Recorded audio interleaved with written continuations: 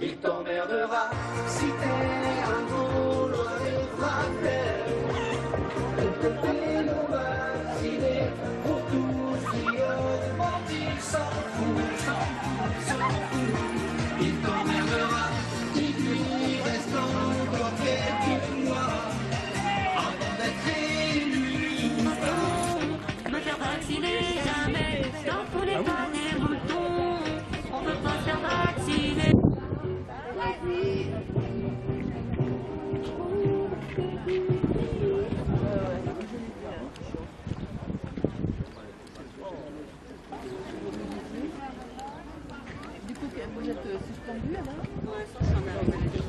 Bonjour à tous, euh, merci d'être encore présents euh, en ce samedi ensoleillé. Euh, donc pour aujourd'hui, donc normalement on devait aller au Clairion, mais il y a un petit changement de programme. Donc là on va aller direction l'arbre sec piscine. Et on va voir pour faire nécessaire pour faire pour aller au Clairion, mais il faut qu'on voit des aménagements. Donc euh, ça, on verra euh, d'ici quelques semaines.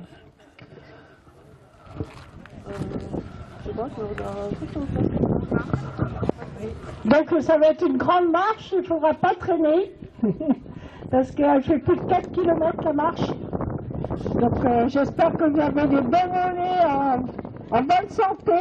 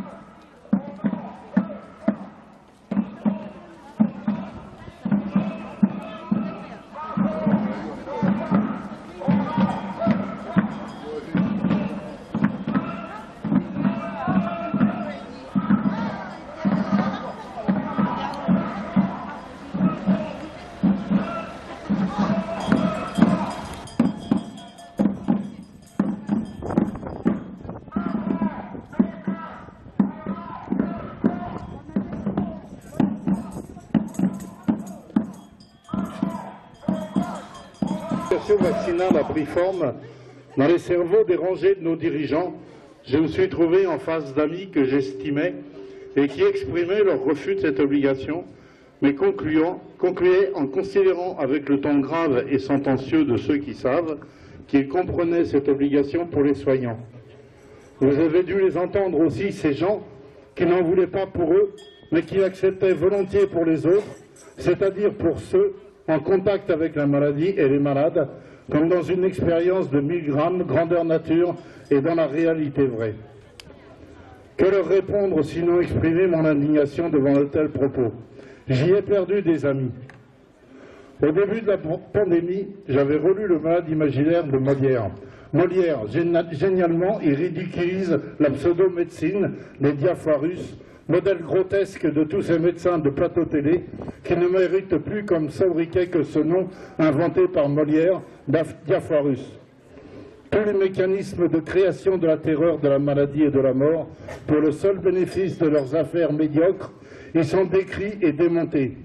Les mêmes mécanismes ont été utilisés dans cette pandémie, faisant de cette pièce de 1670 une pièce des plus modernes et des plus actuelles.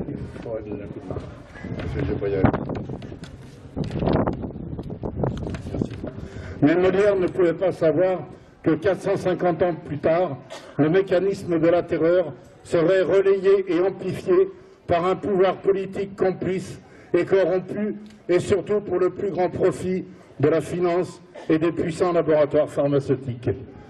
Je me suis rendu compte aussi qu'il y avait un autre aspect de la crise que nous vivons et que Molière ne pouvait décrire. Molière se moque d'une médecine qui terrorise ses patients, qui terrorise la société civile. Il ne pouvait imaginer, malgré son génie, que 450 ans plus tard, c'est l'inverse qui se passerait et que ce serait la société civile, l'État, qui expliquerait aux médecins comment se soigner. Car aujourd'hui, c'est cette société qui impose des traitements aux soignants, leur disant comment se comporter face à la maladie. Belle inversion, surprenante, paradoxale, pour ne pas dire renversante des rôles. Et pourtant, ils ont osé le faire. Ils ont rendu obligatoire le vaccin pour les soignants. On a tenté de les convaincre, ces professionnels de santé, à recevoir ces produits bricolés, ces produits transgéniques, hasardeux, mal testés, fabriqués par des laboratoires condamnés de multiples fois pour charlatanisme.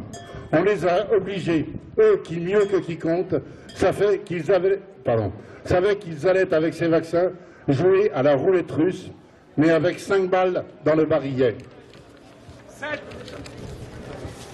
S'ils refusaient, on les mettait à pied, sans salaire, ces mêmes soignants que l'on avait envoyés au casse-pipe dans la première phase grave de la pandémie. Et il s'est trouvé des gens que je respectais qui trouveraient raisonnable cette idée. Ils acceptaient les mises à pied et le retrait des salaires. La France a connu d'autres périodes troublées, d'autres discriminations, commencées dans une certaine indifférence. On a vu comment ils ont fini. C'était la rupture unilatérale du contrat de travail avec l'exigence, après sa signature, de clauses non évoquées lors de la signature. Le peuple français, malheureusement, a laissé ses personnels qui refusaient l'injection transgénique devenir des pestiférés sans revenus, quelle que soit leur situation sociale, enfants, personnes à charge, loyer, crédit.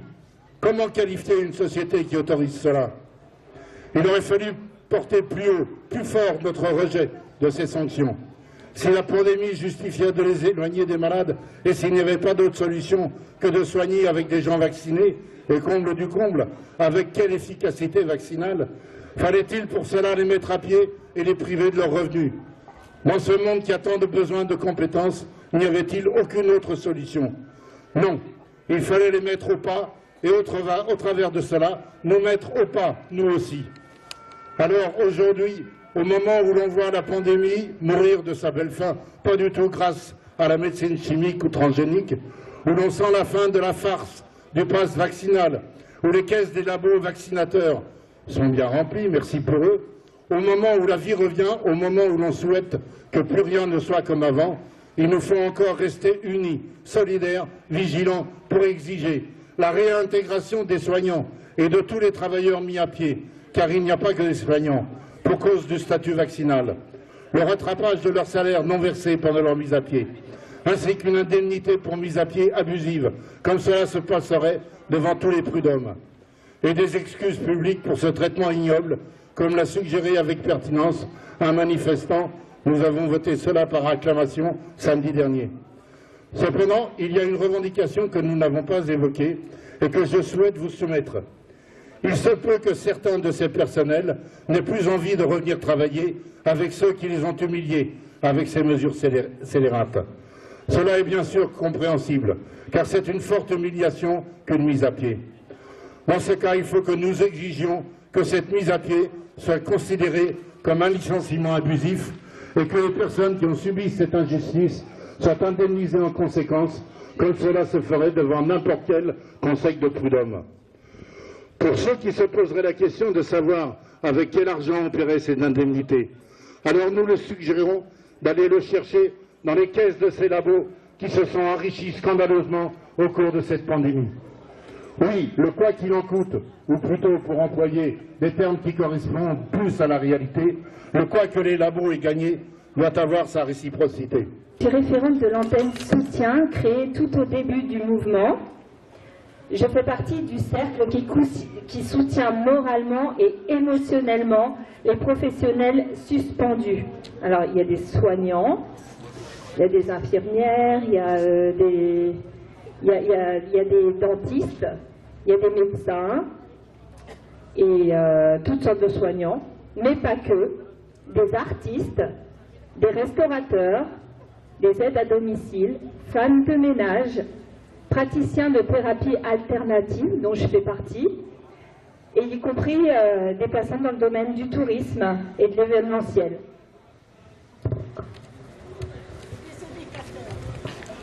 Pardon Les éducateurs, c'est vrai.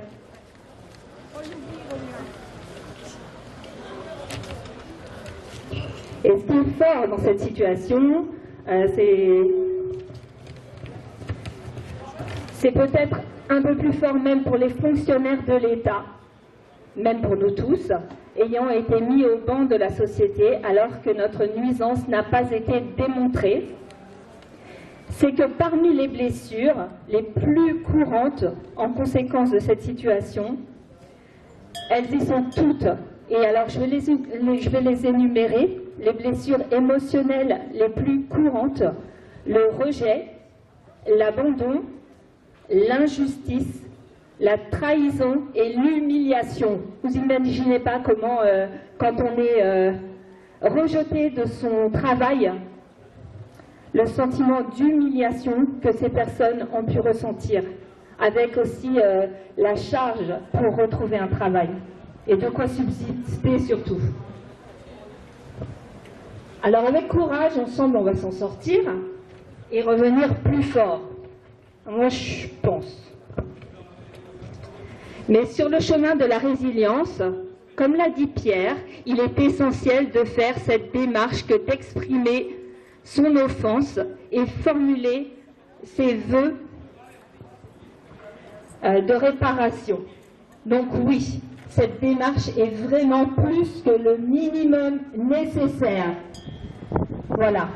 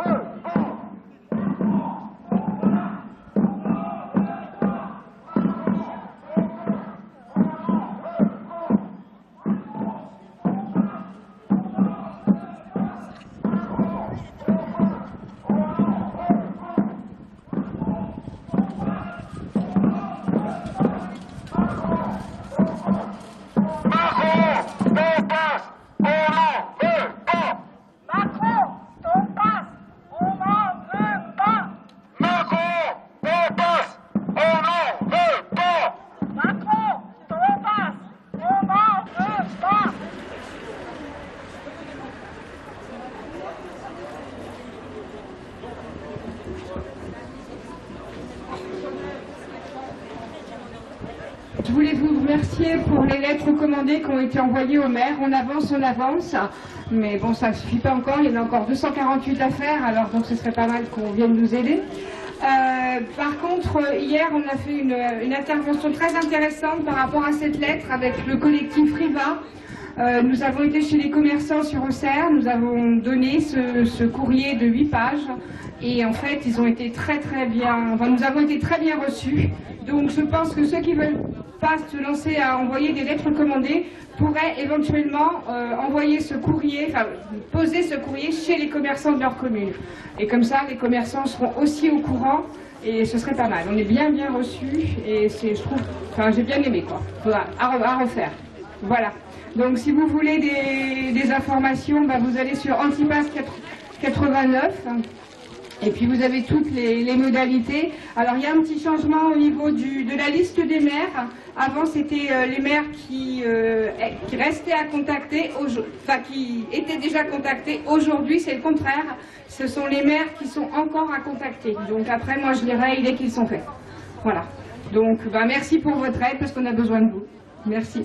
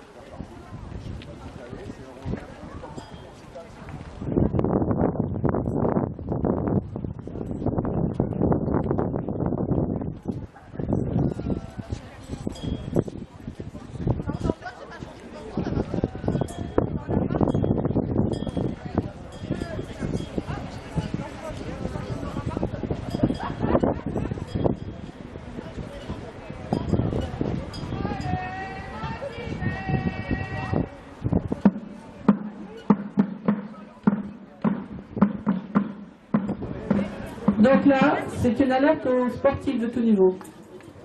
Alors, le programme de vaccination universelle avec l'injection Covid-19, faite de produits expérimentaux, entre en collision frontale avec la mondialisation heureuse. Entre les décès recensés sur les terrains de foot qui n'ont jamais été aussi élevés et qui continuent d'augmenter, à savoir que depuis les années 2000 jusqu'à l'année 2020, on dénombre entre 3 et 7 cas de décès sur les lieux de match, que ce soit en France ou dans le monde. Or, si l'on regarde les statistiques vérifiées et connues euh, du, 1er, euh, du 1er janvier jusqu'au 31 décembre 2021, on dénombre chiffres et liste des morts sur le terrain. 16 morts en plein match. Euh, en janvier 2022, sur un an, ah c'est- pas moi qui ai écrit le texte, donc euh, j'ai un peu de mal. Sur un an, augmentation inexplicable de 2,5%. Il y a tous- les ans des, morts subites. hein. Juste un chiffre de source VAERS. Myocardite 2020, 0. Myocardite 2021, 24 000 pour 12 mois. Et pour 2022, 8400 pour un mois. Vous ferez vous-même euh, les ratios mensuels. Et cela n'est que l'iceberg par rapport aux sous-déclarations auprès de l'organisme de pharmacovigilance américain. Mais le véritable bloc glaciaire, invisible, sournois, c'est celui de blessures peu, peu repérables sur les systèmes cardiovasculaires que portent nos enfants vaccinés et qui feront forcer pendant des années le cœur de nos petits afin de pouvoir assurer le cycle de l'oxygène et du gaz carbonique, euh, voire même de correctement irriguer euh, tous- leurs organes. Concernant euh, Pfizer, en ce qui concerne les, les myocardites, il dit il nous faut au moins 50, 5 ans d'études pour y voir à peu près clair sur ce problème.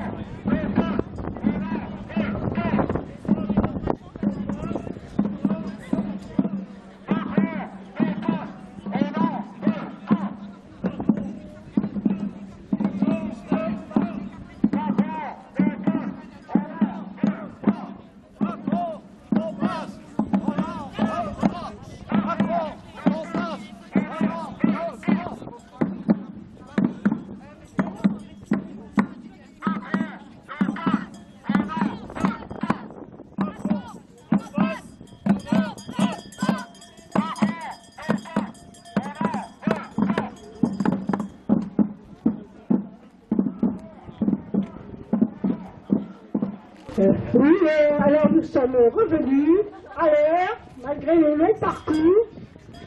Donc euh, on n'était pas nombreux aujourd'hui, j'espère qu'on y sera plus la semaine prochaine.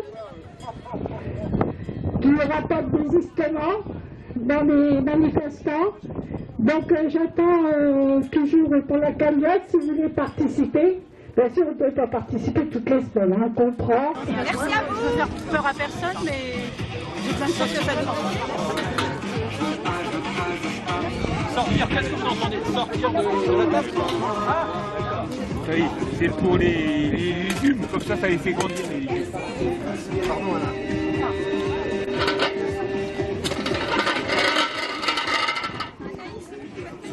Bien la gamelle. Pas vu qu'il y avait ça. Bah oui, on te couche, il dit, bah, ceux qui n'avaient pas de légumes, bah, si vous voulez Ah, voilà. C'est pour les euh, les- Merci.